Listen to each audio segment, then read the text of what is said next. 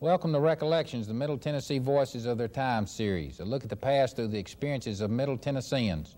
I'm Bob Bullen of Middle Tennessee State University in part two with our discussion of Fayne Haynes, Murfreesboro businessman, World War II veteran, survivor of POW camp, and a true combat veteran. In part one, we talked about Fayne's early life in the Depression. We talked about his entrance into the military training.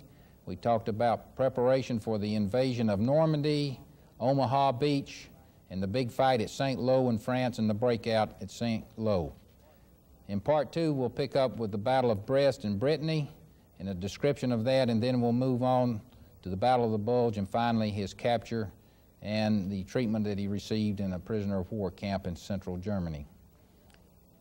When you broke out at St. Lo and you followed Patton, you saw quite a bit of destruction, so let's briefly hit on that again. Uh, you were really on the move after you came out of St. Lo, and this was in July of 1940. Yeah, I mean, uh, July 1944. Yeah, yeah, that's right. Yeah, we, we saw quite a bit of destruction that Patton had done. Not only did we see his destruction, but we saw where his tanks had been destroyed tremendously too. Lost a lot of tanks, and um, uh, of course he was criticized some for that, but I would not criticize him for that because uh, you have to look at how many he was overcoming while he was doing that. He was devastating the German army because with the speed that he moved, he overtook them on the roads. And uh, that way, uh, we had the advantage. They were not prepared to fight back. And uh, that was one of the big things. The sickening part of it was a typical uh, American tank that you'd see that had been knocked out. We had a five man crew, and you'd see where the tank had burned. And around the tank, right out from the tank, you'd see sometimes the crew would only get a few feet, they'd be uh, burned they would be on fire and they'd only get a short distance, and most of the whole crew would be burned and destroyed there. And uh, of course, that was always one of my pet peeves as to why the United States did not build tanks that would burn diesel fuel instead of gasoline. The engines they had would explode every time they got hit. The fuel would explode and catch fire.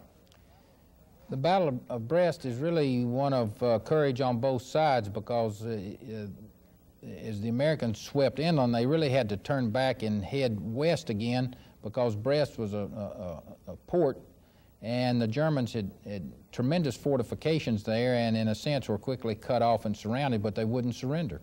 That, that is correct. Uh, I might say that when we pushed on down, part of the army went up towards Paris, France, and the other part went down the peninsula uh, to Brest.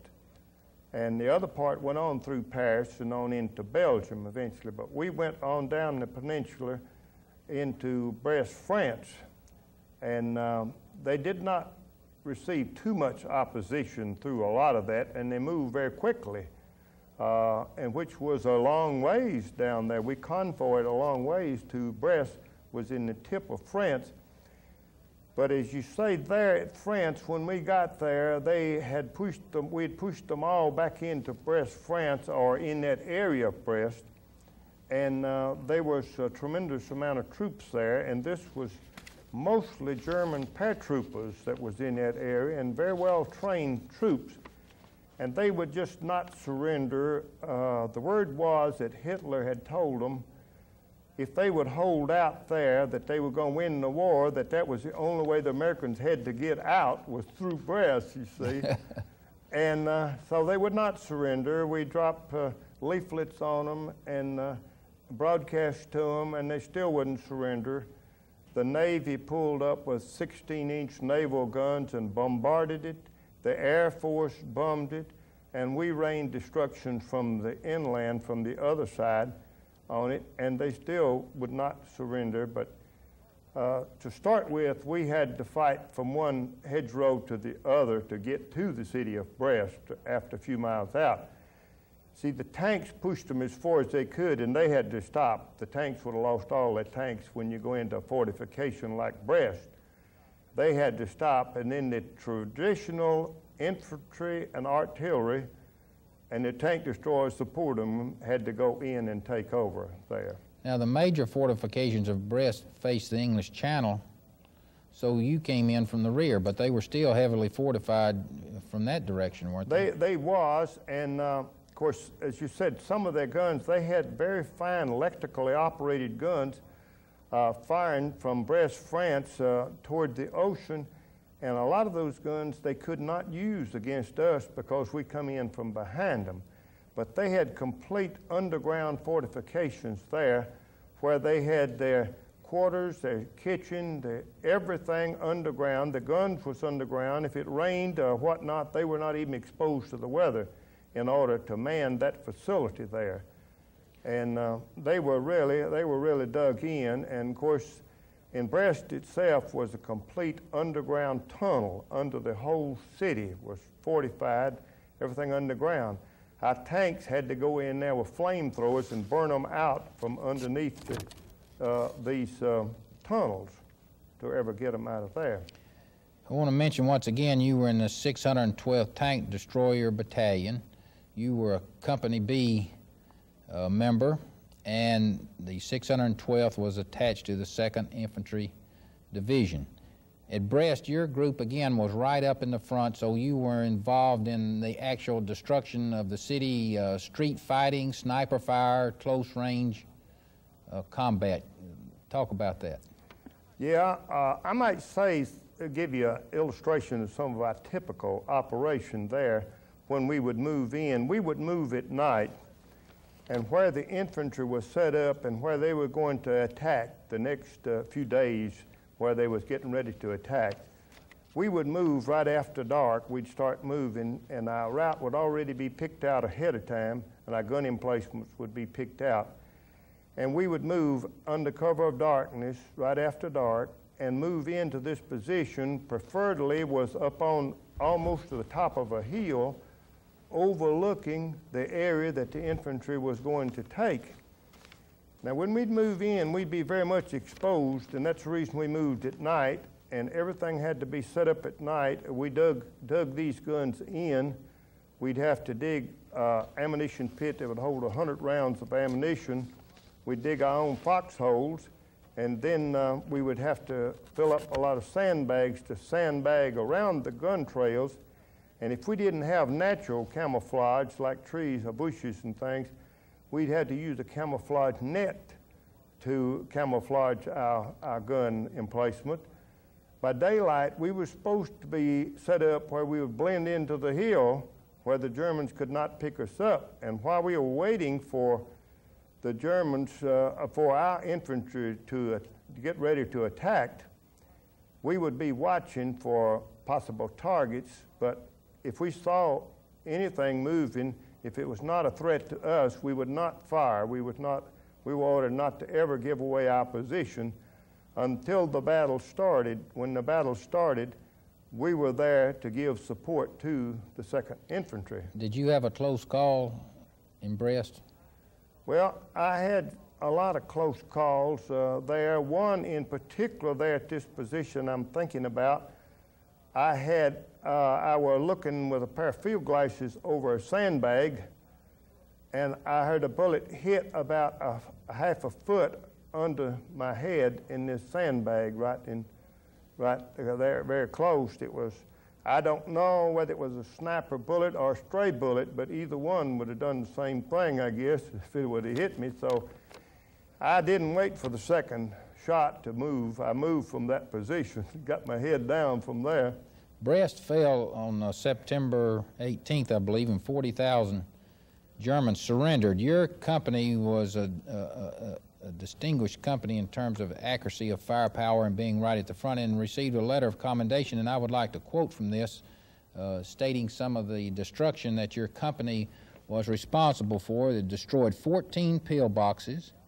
two dugouts, 17 machine guns, one ammunition dump, three anti-aircraft guns, four large caliber artillery pieces, 11 houses, including a large hotel. Do you remember blowing that hotel up? The hotel, uh, I, I didn't blow it up altogether myself.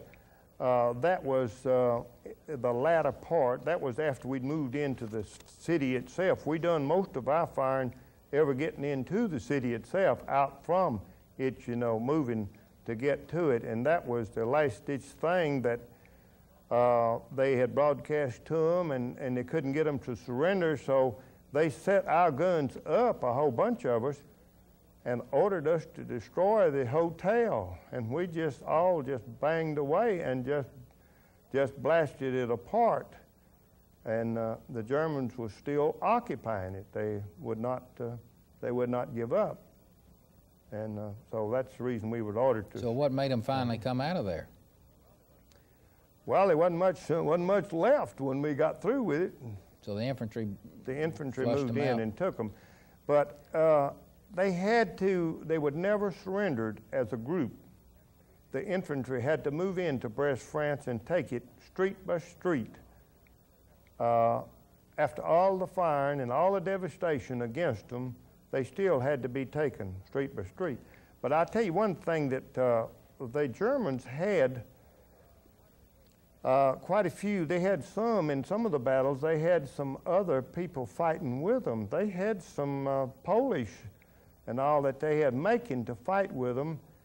And these Polish would love to surrender, but when one would start to surrender, the Germans would shoot him in the back. They had these SS troops along with every unit, you know, and their job was to keep the other soldiers in line. And that's the reason any a German soldier that tried to surrender was probably more likely to get shot by his own troops than he was uh, the Americans, you see. well, I want to move on, but one more question on that. What's the most vivid memory you have of the street fighting in Brest? Uh, well, as I said, we, not being in the, in the heavy equipment, did not do as much street fighting like the infantry did most of the street fighting. But we did move on up at that time and do this hotel and all. But most of ours was during the battles, you know, when we was taking these hills and all that approached, uh, All right. approached it there. Well, Brest falls. And next, you're put on a convoy, and I guess you're probably thinking you're going to get a little rest and relief, and the word gets around you're headed for Paris. What happens next?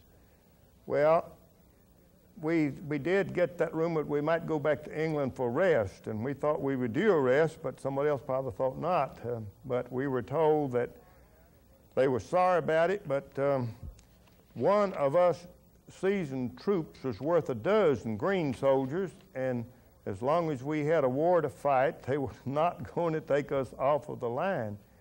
That uh, we was doing too good of a job, so we stayed at Brest, France, one week after it had fell.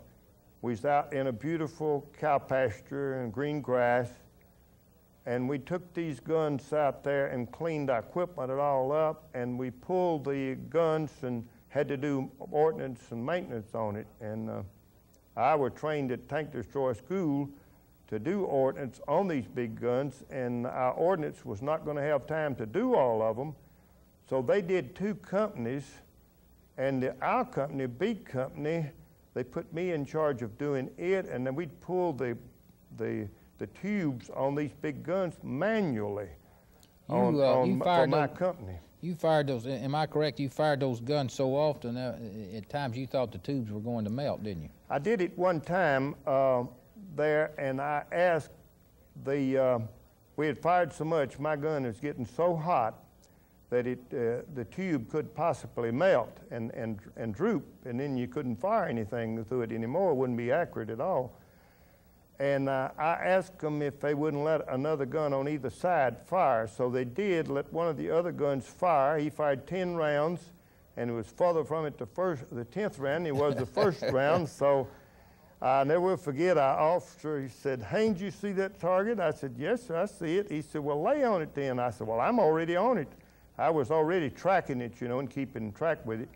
And he said, Well, fire then. So I fired and knocked it out, second or third uh, shot. And uh, so after that, uh, about there was a lull for a few minutes, and he, so we come back on the phone, and he said, "We've been talking about it. we've decided we want you to continue to fire. If you burn that gun up, we'll bring you another one. So Well, I know- continued to fire. I know you're proud of your gunnery, and you should be, but let's talk about uh, what you saw when you got into Paris. What happened there? Yeah, well, we saw the Eiffel Tower. That was the main thing that we could recognize. We drove right under the, right by the Eiffel Tower, and drove on out the edge of Paris, and they stopped for about 30 or 40 minutes, and they ordered that nobody gets off of the vehicles. So we was not allowed to unload at all, and then we convoyed right on through Paris and went on into Belgium. What did the citizens, you rode through the streets, uh, what impression did you have of the citizens and, and uh, the condition of the city? Well, the, the city uh, was not tore up much in uh, Paris. Uh, It had some street fighting, but basically they it had some, saved. but uh, I didn't see the destruction there like it was at Brest, France, Yeah.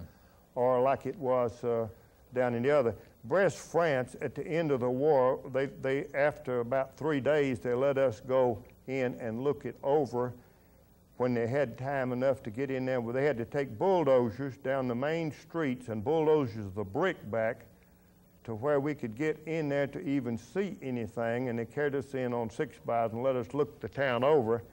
You could walk where there was a five-story building. You could walk from one uh, one part of it to the other just on the loose brick. That, that how much the Brest was destroyed. Almost every building was destroyed that way. Did the citizens of Paris pay any attention to you as you drove through? Well, they, the French would usually stick up two fingers, V for the, v for the Americans. and I suppose that they did the same thing when the Germans arrived, V for the Germans. Well, the worst part of the war was still in front of you, and were you disappointed that you didn't get to stop in Paris for a few days? Well, I didn't think too much about it. There was um, uh, some of the boys was Grumbling. was grumbling about it because we didn't even get to unload there and didn't get to stop. But uh, Well, next you went to the famous Siegfried Line, and you spent 73 days there, 73 uh, unpleasant days for the most part. The weather turned bad. Uh, you had to deal with mud, water, shelling. Uh, you built an underground house that was flooded, had night guard. Wasn't a very pleasant period of time, and your physical condition was probably beginning to run down during that uh, period of time. So, talk about uh, those days on the Siegfried Line. Well, it, it was, uh, we were right close to the Germans, as you said, Siegfried Line, and we were right on the muzzle of these guns, and uh, it was um, uh, every day almost while we were there, we were shelled. Uh, one of the things that we had was so devastating was what they call a screaming Mimi. It was a, a, a rocket that had eight uh, tubes to it, and they'd fire them one right after the other, and they traveled very slow. And you could hear those things for good ways, and it was devastating on your nerves hearing those things coming, you know. And they wasn't very accurate. They might fall almost anywhere, but you didn't know where they was going to fall. That was the worst part of it. And uh, we lost one entire gun crew. They were eating uh, lunch right over from us, and they were sitting around the half track there eating right outside the dugout, and they heard this shells, them starting a barrage of them. But they said, oh, well, they're going over, you know. And all of them but one went over, apparently was a faulty shell, and it dropped right in the middle of them and just blowed them sky high and just wiped the crew out. There was only two survived, I think, out of the 10 people there. And that was right over from my gun crew, so that was pretty devastating to my boys. And when they started shelling us, we had some boys whose nerves were so bad they just start crying whenever they'd start, uh, artillery would start on them, especially one boy. And it looked pretty bad to see a guy 200 pounds sitting there crying, you know. You uh, you had some training in first aid. You had to actually administer to and treat the wounded on some occasions. We did uh, on some occasions. We would give them first aid, but we would uh, we had usually had telephone communications, and we'd we'd uh, call for our medical detachment to come and evacuate them evacuate them out in the rear areas where they could get them to a hospital. Let's talk about the everyday life in the in the. Uh, I guess you were almost in the trenches by this time, weren't you? Dug in somewhat. Well, we was all the time, you know, all the way through. We had to dig these foxholes, and we hear a shell, we jump in them, you know. If we hear one coming, or they'd start laying artillery on us, we had to constantly watch for things like that. You had Uh, some type of ration called 10 in 1 or 1 in 10. Yeah, we had a 10 in 1 ration that was designed to do 10 men one day. Everything was in there that we was going to get, you know, for that day. It had a little bitty can of coffee, a little Nescafe instant, and that was, I think, probably about the beginning of instant coffee. And uh, it was very good. And uh, then they had other things like canned eggs, and you, we'd open a can of them as a large can, and we'd slice them off and uh, put them in a skillet and sort of fry them a little bit to warm them up to make them taste a little better. And we had bacon that was in a can. We opened the can and we'd fry this bacon. It was unfried bacon, and we'd fry this bacon. We had some little bitty stoves that we were issued. The 10 men had to do their own cooking. We did not use a central uh, uh, kitchen to feed us or anything. We had to fend for ourselves. We done our own cooking. Now, hygiene was primitive, wasn't it? Yeah, uh, we, I might say that I got my first bath after St. Lo and all, a while after that. Uh, before we went to Brest, France, we, on our way down there, we stopped and we took a bath in the river. Was our first bath in the river. Later on, we got one bath on up in Belgium. They come up with a portable uh, unit, and we took a second bath. And I got to leave the front lines a little up there one night, up in Belgium, right before the Battle of the Bulge, and I got a bath then. That was the third. And I got one bath in, while I was a prisoner for four months, so I had four baths in a year. And you also, during that year's time, although you got a couple of changes of uniforms, you slept in your clothes virtually every night. We slept in our clothes every night. It was not safe to be caught with your clothes off in combat. Uh, so we slept with our clothes, and I slept on my back. I used my helmet liner to put my head back in with the helmet with the steel helmet on. And I laid my rifle across my stomach and my hands on the rifle, and that's the way we slept at night. What kind of destruction did you see on, or devastation on the population up on the Siegfried line? Uh, we wasn't able to get around very much up there. We moved straight in and to this position, and while we were there, it was up on a hill, and the Siegfried line was was uh, we were in sight of it, and uh, we were just right under their muzzle, and we could not move around very much up there, and uh, uh, we didn't get to go anywhere from there, and um, uh, our supplies was brought in uh, there to us. We had to walk back a good ways to get our rations because they couldn't get to us. Up there, it wasn't safe enough for them to pull a vehicle up there where we was. We moved in that night. You get much mail from home? Uh, we got a little bit, not much, but we got we got a little mail along, but not very much. Now, you were able to build a, an underground bunker or house of some type. Could you briefly tell that story? Yeah, we decided that since we were stationed there, we were going to build this underground structure, and we used picks and shovel to dig it down underground, just like a room in a house. We built it big enough for our crew to be in there, and we had bunks in there and everything. We used construction on it to where we thought would be bomb-proof. We used a lot of cedar, I mean, a lot of pine logs that the engineers brought us these logs to build it on to put over it, and uh, we built it and dug in, and we had it pretty well fortified. And I was so happy with the dugout. We were very comfortable down in there. We felt pretty safe. We even put a, a rounding uh, entrance to it where, where if a shell hit in the entranceway, it wouldn't go inside because we made a curve around so it wouldn't, so we wouldn't get a blast from it. And then the water started to rise in there, and it rose so high that we had to move out. We had a little table in there, like a card table, and I come off a guard about 12 o'clock one night, and this card table was floating.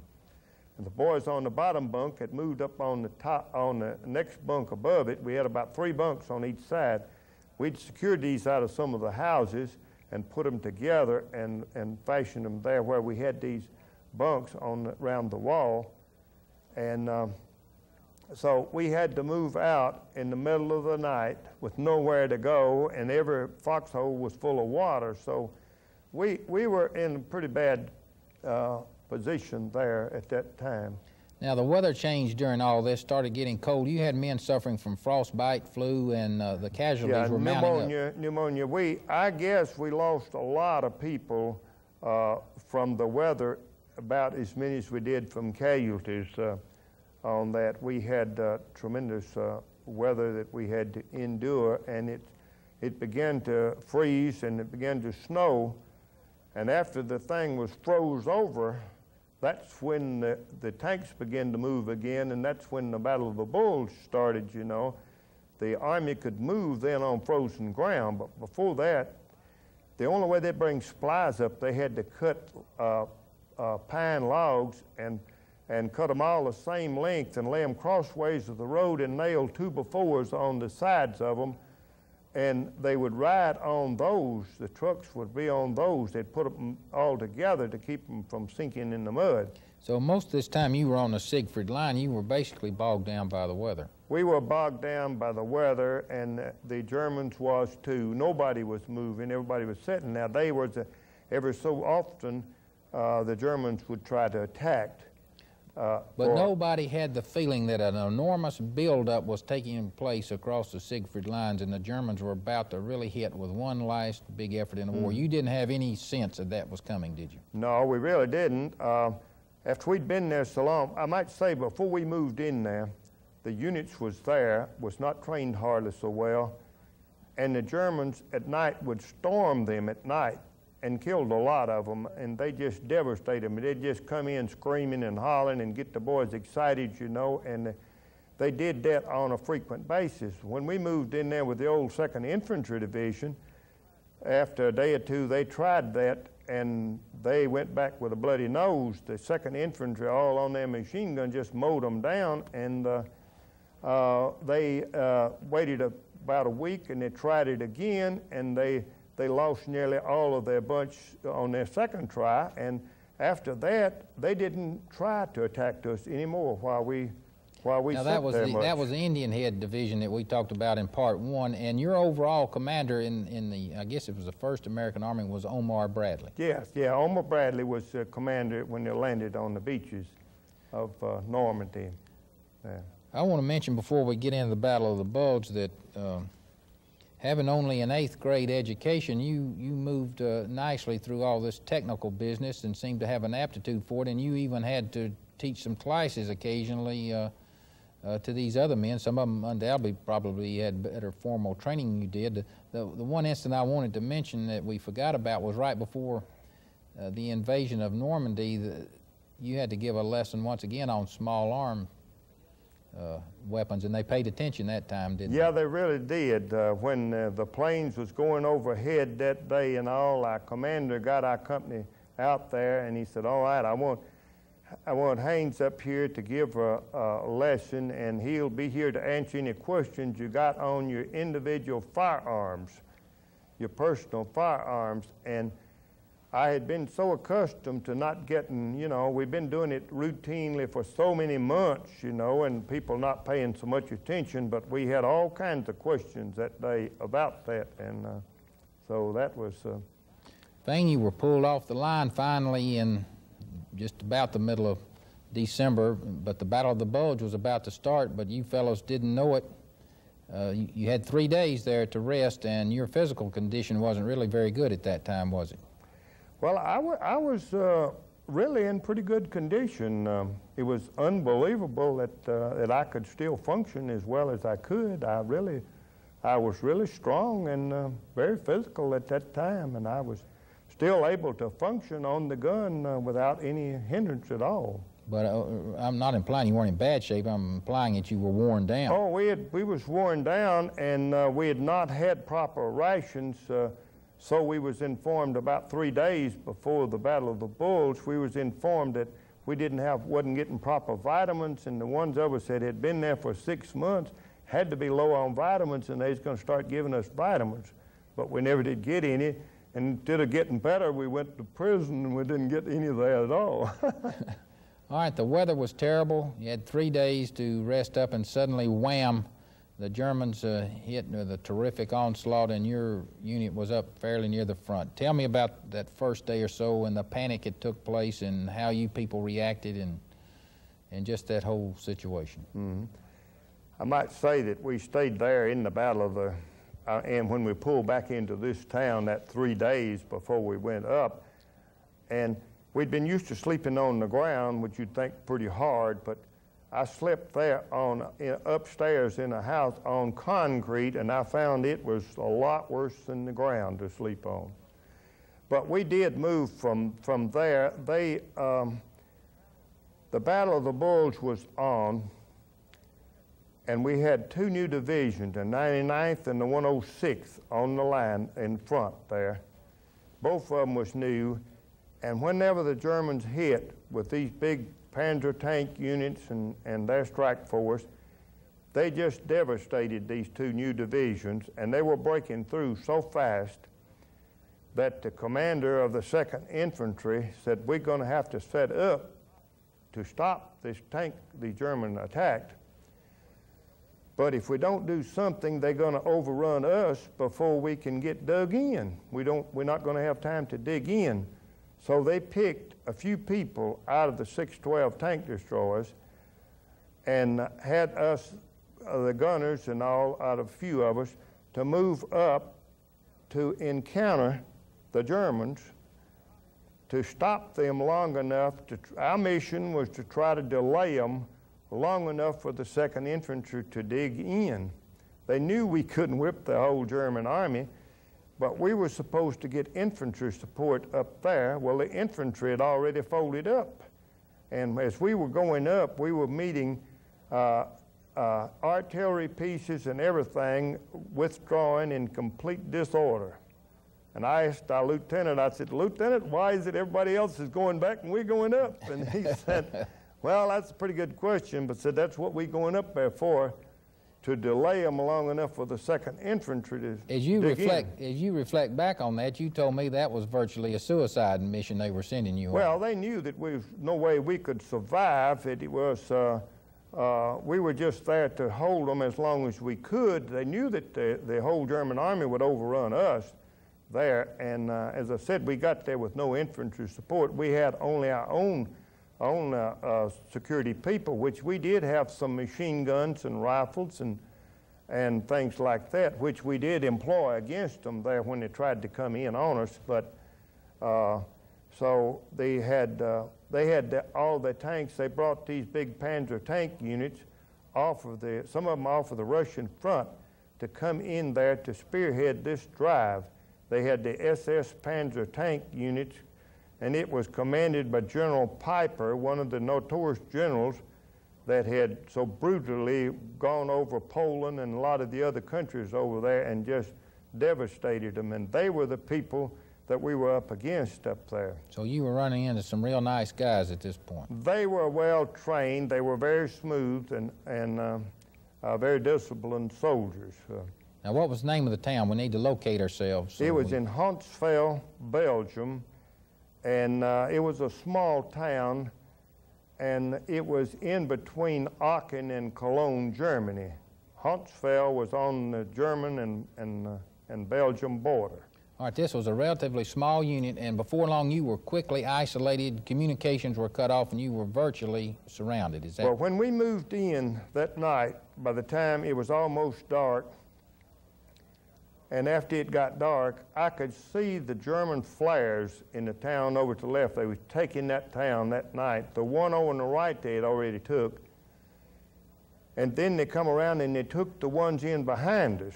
So we was completely cut off, and we had lost communication entirely with the American Army. We had no communication.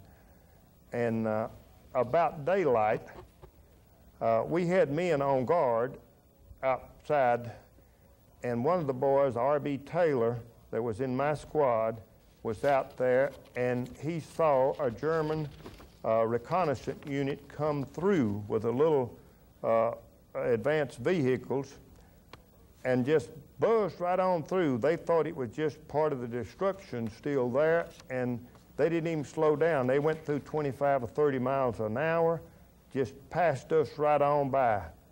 So we knew after that the tank corps would follow them, which, which they were shocked. The tank corps, the German tanks, you know, they didn't know that anything. They had no warning from the advanced element. The advanced element didn't even notice us and went on through. So you were just completely passed by with the initial German uh. Reconnaissance, the reconnaissance Now, unit. that now next you set up on the street, uh, the way the road curved around, you set up on the street now. and This was a really a highlight for you in the war. You set up and you were able now to take on some German tanks. So let's talk we about that. We were in this little town, and uh, we didn't. We were told that that was sort of a rest area. That we would go up the next day, and and go on the front lines the next day.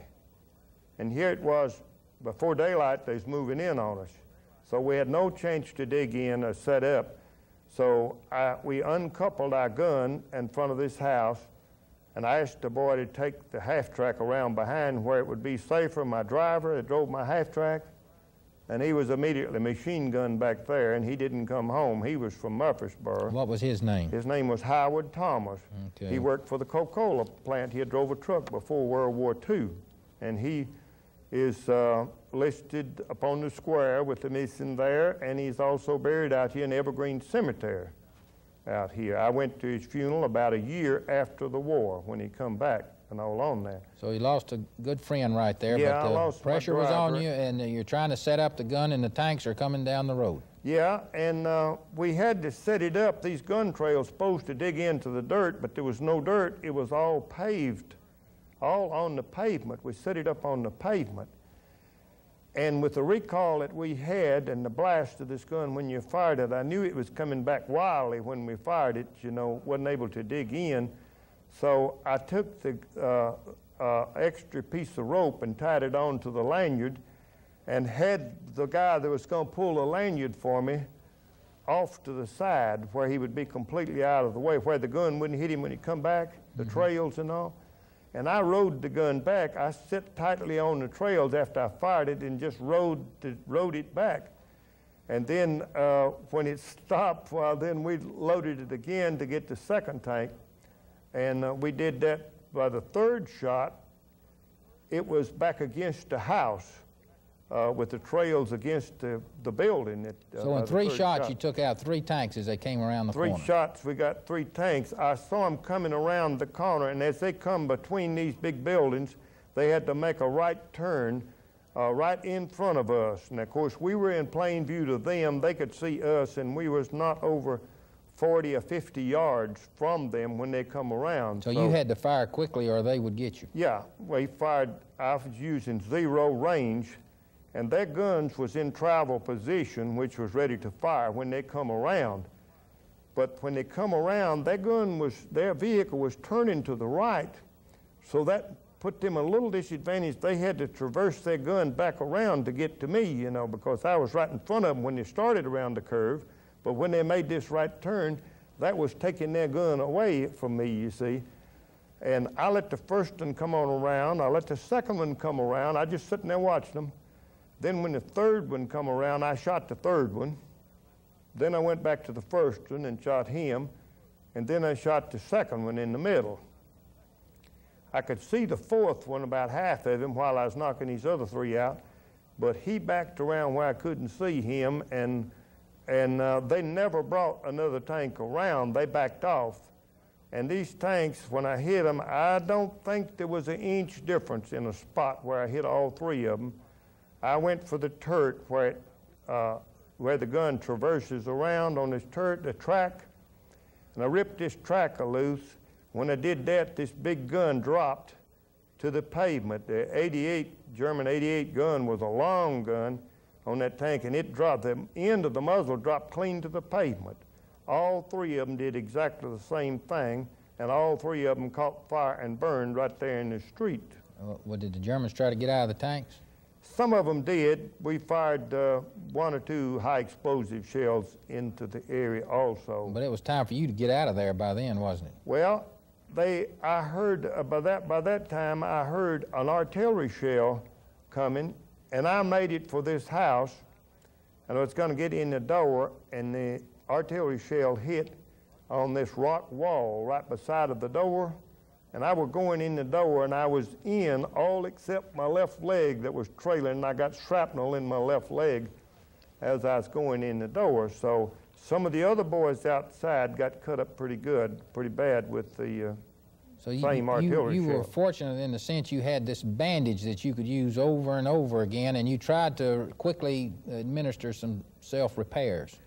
I used this uh, bandage that I had on our gun belt, and it was a was a regular leg bandage, and it was had a lot of gauze to it, and and uh, I used that, and in in each packet had a big uh, packet of sulfanilamide powder, and that sulfanilamide powder was the only medication that I ever had on my leg. I poured the hole at that time full of sulfanilamide powder and bandaged it up with the shrapnel in the leg.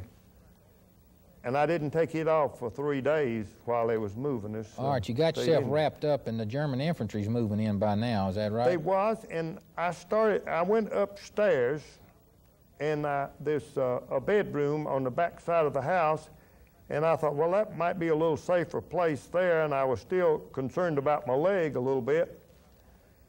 And then I heard a shell come through the window, and I hit the floor right quick, and it hit the wall and knocked the plaster off of the wall and the ceiling and everything. I looked like I'd worked at a rock crusher when I come out of there, but I did not have a bit of shrapnel from that shell that burst in the bedroom with me in a German bedroom. There's no furniture, nothing in there, just an empty room. And uh, I was able to get up and walk out, but I had a tremendous amount of concussion from it. Your uh, commander ordered you to surrender at this point. I come down after this shell, and as I was coming down the steps, and as I come down, our commanding officer ordered us to surrender. He said, under this article of war, he had the right to do it. He said, My men have all either been killed or wounded, and from here on out, it's going to be a useless loss of lives. Therefore, I'm ordering you men to surrender. And he got us out in the road with our hands over our head. Well, this is when you had another exciting experience. Uh, a, a Panzer tank uh, didn't show much regard for He you fellows. came in from behind, opposite from where the ones that I'd knocked out. He came in from behind. He done gone around and come in from behind us, and he pulled up in a pretty close range. Well, while we had our hands on over our head, and he opened the machine gun, just raked across there, and tried to kill everybody in the road. And fortunate for me, I was on the left side of, of him, and he started on the right side when he raked the machine gun across. By the time he got to the other side, I was laying flat right next to the curb uh, in the street, a paved street, and it was curbed, and I was laying next to the curb, and every bullet went over top of me. He just kept raking backwards and forth, backwards and forth. I laid there and did not move, and when he was satisfied he done killed everybody, he drove on off. When he drove on off, I waited till he got out of sight a little piece, and I got up and walked off. Two of you got up. There was one other boy that got up and walked off with me. I'm sure some of these others probably maybe survived their wounds, but at the time he walked off with me. Now, the German infantry is right in front of you. What happens next? The German infantry had took up position in these big buildings, these five-story buildings on both sides of the street, and we could see those in the windows. They had the windows up with the rifles in the windows. And as we were walking along, I heard one rifle crack, and my buddy, uh, Edward E. Stegall from West Tennessee, was hit right in the heart, and he fell face forward. So you, you just checked him quickly, found he was I dead. bent over him and checked his pulse, and he did not have any pulse. And I stood there for, uh, laid, uh, kneeled down there for a minute, and I thought, well, they're going to shoot me next, I guess. So I raised up and looked around, and they didn't immediately fire. So I thought, well, what are you waiting on about firing, got shooting me? But they didn't fire, so I walked right on facing them by myself down this street, and they was on both sides in the windows with their rifles. Were your hands up? I didn't have have my hands up at that time. Have no. a helmet on? I didn't have a helmet on. So you were just walking in, expecting to be shot. Yeah, I just walked right along very briskly, right in front of them, walked right on past them, and they never fired another shot. And then at the end of the street, they had more prisoners. At that time, I knew for certain that the good Lord was still look, looking after me then, you know. And what else could have stayed them from shooting me with the mind that the Germans had, some of them, you know. But I went on down the street, and they were taking some, the inf- German infantry was taking some other American prisoners down there, and I joined up with them. Now, is this where you went on a 12 mile march? From there, yeah, we, we marched uh, 12 miles from there. They marched us out of this little town, and it pretty grueling, but I might as well tell it too, I guess. They had two boys, uh, two, two guys that was with us when we was captured. They was German civilians, a man and his son, about 15 years old. And I don't know, they must not question them much, but they stopped us right in the edge of the town there, took them two out, took them in a little building I assume was a chicken house, and shot them and killed both of them. Come back out and marched us on off. Did you see him shoot any of our men?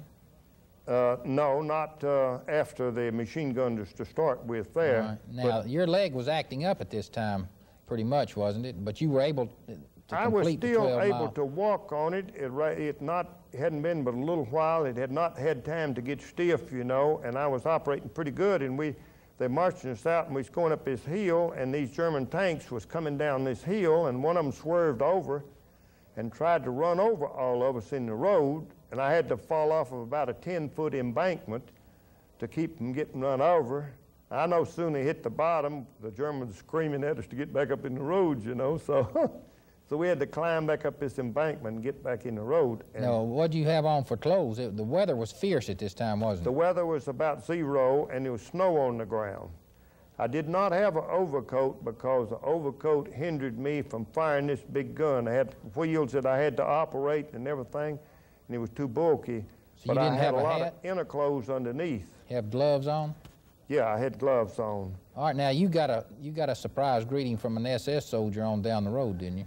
Yeah, unexpectedly, we was walking along there. They was marching us along, and these big SS Panzer tank people was along the side. Some of them standing along there, and I was happened to be on the outside, and I wasn't even looking at him. As I walked by, he hit me with his fist as hard as he could, knocked me clean over against one of the other guys, but he never did knock me out or anything. It didn't dazzle me, and uh, amazingly, I had no ill effect from that later. I was able to take the blow. All right, after that 12 mile march in severe weather, you ended up in a basement of a house, Yeah. and your leg really got bad on you that night. Yeah, it got bad on me that day marching. After about first three miles, this shrapnel that went in my leg was a square piece of shrapnel, and it cut its way in through the muscle. And after about three or four miles, my muscle in the calf of my leg just fagged out. It just quit working. And I carried it with my upper muscles the rest of the way for the rest of the 12 miles. And as you said, they put us in the basement that night, and we're like to froze to death that night in this basement. No heat, and there's all concrete down there. I sat on the steps all night. The next morning, my leg was so sore, I couldn't, didn't think I could walk at all, and uh, they hollered for everybody out. So everybody went out but me, and I was standing at the bottom of the steps, uh, moaning with my leg, and I told him I couldn't walk. My leg was so stiff I couldn't walk.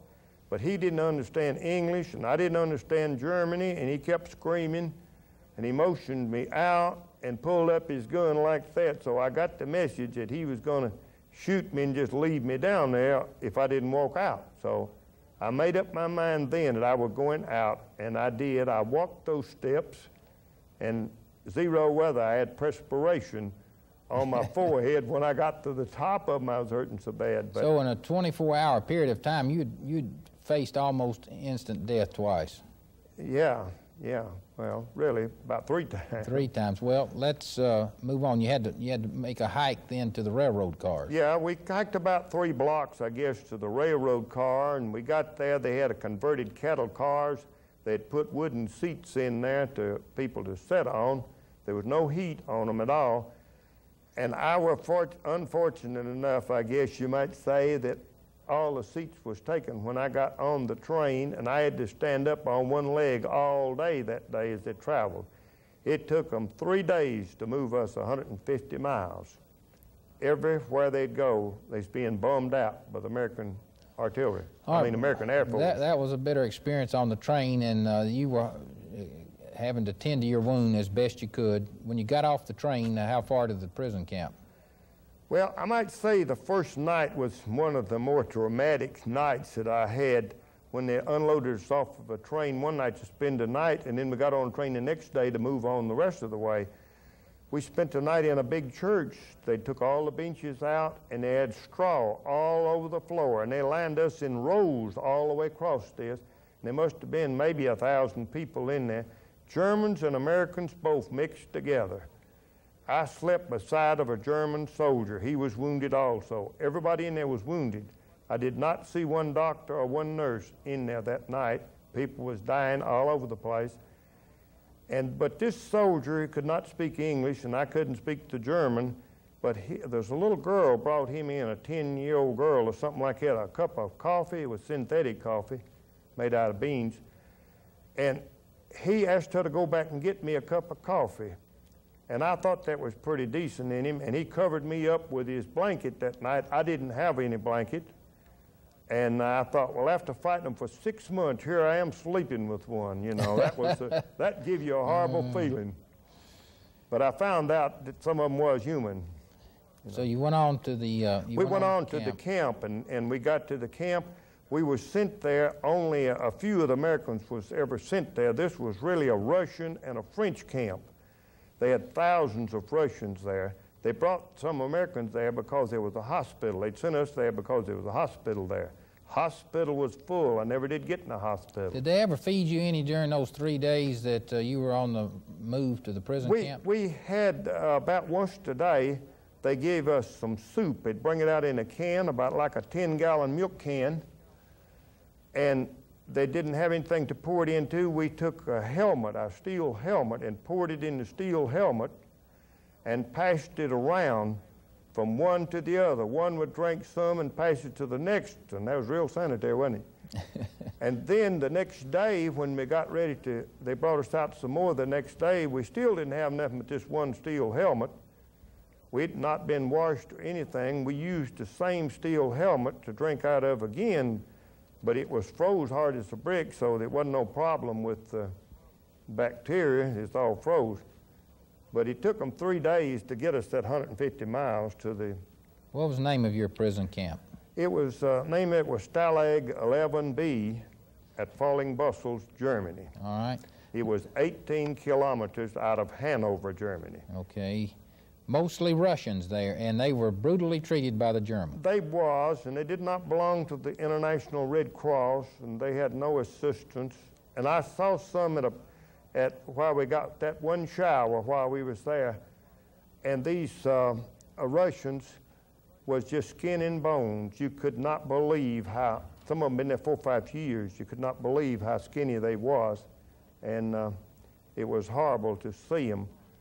But we didn't get fed but once a day. Now you spent four months in the in, Four months. in the prison camp. Yeah, and I was uh, functioned there. The Germans picked me to be a pallbearer for American Dead, and I helped bury 51 American Dead while I was there. They gave you a British uniform. They gave wear. me a British uniform, and I, I wore the British uniform, including the black shoes and everything, was a complete British uniform. You didn't have, uh, describe the ritual that you went through when you buried the dead. Well, we pulled them out. Uh, I'd say we picked them up. They had a holding uh, building that they put them in, and we'd leave them till we get five. And we'd move them five at a time. We'd take them out on a little wagon. I'd call it a one horse wagon. We pulled the wagon about a mile. And when we'd get to the cemetery, we'd take them off from the edge of the cemetery and put them on our shoulder and carry them across uh, to the grave, which the French had already dug the grave. The French covered them up. We had a little ceremony. We had the British, they wouldn't let us use the 21 gun salute. So we used the British bugle boy to blow a bugle. The British blows the bugle over there dead. So we let the British blow the bugle, and each one of us went up and saluted the uh, casket uh, and left one at a time, and then we go get another one, and we did that for each one of them. So about how many you think you buried 51. 51. I helped bury 51 while I was while I was there. What was the morale like of our men in the camp? Well, they was very low. We didn't get everything. Only thing that they ever talked about was food, food and cigarettes. Cigarette. They, they had cigarettes and food. That was what. Some of them craved cigarettes more than they did food, and I couldn't believe that. One of my guys that I was bunking with, he moaned all the time about cigarettes, and I said, "You better quit worrying about the food." I said, "The cigarettes is not going to help you," and he said, "It'd help me." And it really did. One time we got one food parcel while we were there. There was one brave uh, Swiss, Swiss that drove a truck across all the way from Switzerland and got there with a small vehicle. He didn't have enough parcels to go around, so we had to divide them four, four between uh, uh, one parcel between four people. And uh, so we divided that out, you know, there. And that was the only time that we had gotten any. But they had told us other times that you got parcels coming from the Red Cross, and then the next day they'd tell us, well, they were bummed out, you're not going to get them. So we never got any of them. Did you ever get any mail from home during this No, time? We got no mail from home whatsoever. We got no newspapers. We got no magazines. We had no radios. And of course, television wasn't even invented back then. you have any cards? Could you play cards? We, uh, no, we didn't have any cards. Uh, we didn't have anything for entertainment, none whatsoever. You said it was highly unsanitary, and let's finish up with this, and then we'll need one more part to conclude. Uh, you, you said winter literally saved you because of uh, the cold killing the germs. It was so cold. We got in there, you see, about Christmas time, and uh, the weather was so cold, and everything was froze real hard, hard freeze. Uh, the restrooms was outdoor type, running over in the area, and um, in the summertime you could not have survived. The Russians died by the thousands there. Uh, and I might say the Russians that kept them in the same building, they kept them till they got 25. They sprinkle, sprinkle lime over them to keep them from smelling. And they'd take them out 25 at a time and dump them in uh, one big grave, no caskets, nothing, just like animals. That's the way they buried them. The Americans did have a plot, and they had a casket, a pine casket that the French built this casket. It was no inner layer, nothing, and it was not embalmed or nothing like that. Uh, Well, on this grim note, we'll conclude part two of our discussion with Fayne Haynes of Murfreesboro, Tennessee. In part three, we'll go through the other uh, emotional experiences and physical experiences in the camp and his escape, and then return to the, his business life in Murfreesboro after the war. Thank you for watching.